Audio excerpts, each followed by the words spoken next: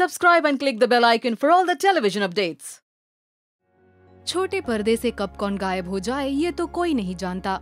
लेकिन असल ज़िंदगी में उनके अचानक से गायब हो जाने वाली बात शायद आपको अपसेट कर सकती है। तो चलिए आपको बता दे कि हम बात कर रहे हैं विशाल ठक्कर की, जिन्होंने सीरियल थपकी प्यार की में दर्शकों को बेहद एंटरटेन किया था।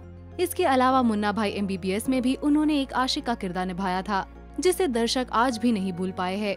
लेकिन आपको बता दे की एक्टर विशाल 2015 से मिसिंग है।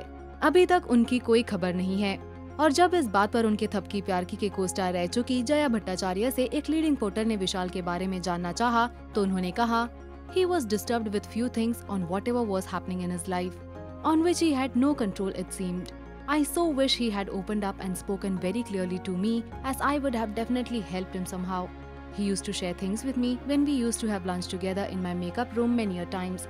He used to talk a lot actually. I just hope wherever he is, he is fine. I was shooting for Thapki when I got the sad news. I can't imagine the state of his parents of losing a child like this. When you don't even know what has happened to him. It must be terribly painful. I am heartbroken that we still haven't found him. There was something going on with regards to a girl. She had alleged that he used to beat her. I don't know if that was true. How we know what happens inside once bedroom well तो देखा आपने। उनके life के साथ क्या हुआ, इस बात का पता अब तक नहीं चला है। लेकिन आप विशाल को कितना मिस कर रहे हैं? जल्दी से अपने कमेंट्स कर, हमें ज़रूर बताएँ। और यू ही टेली मसाला देखते रहे।